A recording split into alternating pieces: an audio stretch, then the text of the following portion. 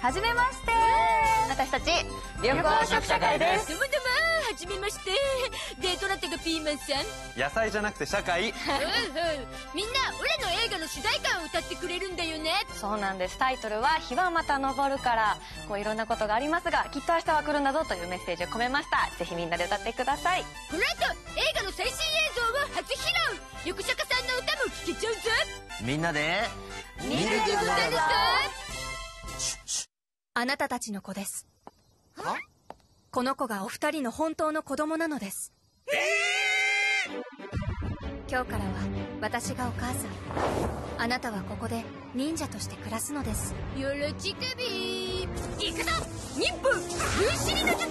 ブリブリブリブリこれは地球のおへそ。ゴリラが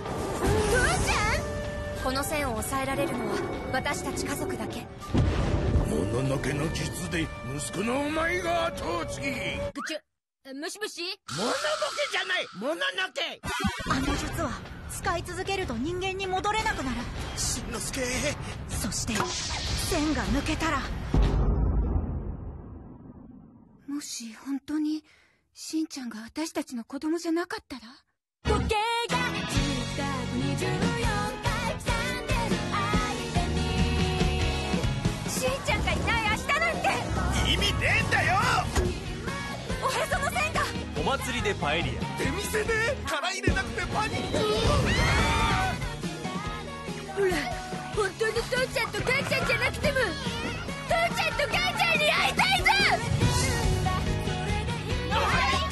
へそがクレインちゃん映画「クレヨンしんちゃん。もののけ忍者新風伝」一歩自撮りの術。やだ何このアクション仮面の敵役。